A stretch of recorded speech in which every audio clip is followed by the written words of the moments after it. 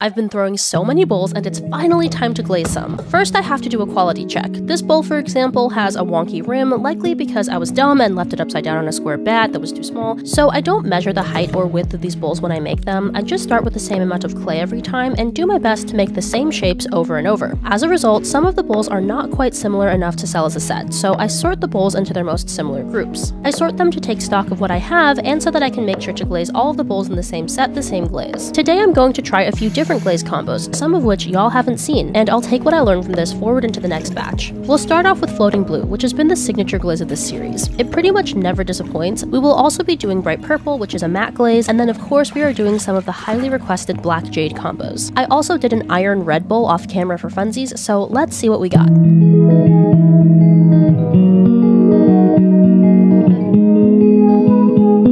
So what colors do y'all most want to see in my next update?